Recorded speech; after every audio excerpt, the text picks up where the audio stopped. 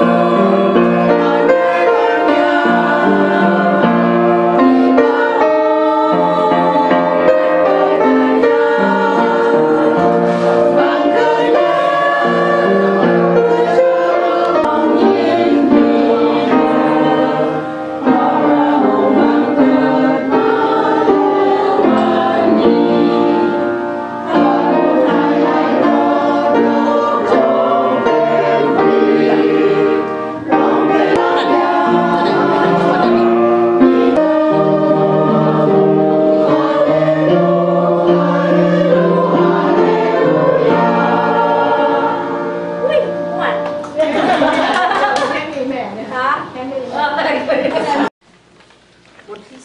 ข้อหนึ่งถึงข้อสิบกล่าวว่า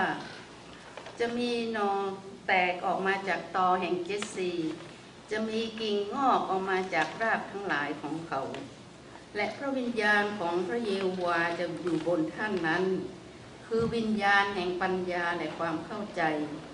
วิญญาณแห่งการวินิจฉัยและอนุภาพ วิญญาณแห่งความรู้และความยำเกรงพระเยโฮวาความพึงใจของท่าน ก็ในความยำเกรงพระเยโฮวา ท่านจะไม่พิพากษาตามซึ่งตาท่าน ท่านจะเรียกงานของท่านว่า ที่ปรึกษามา Jesus will come to restore our broken relationships with God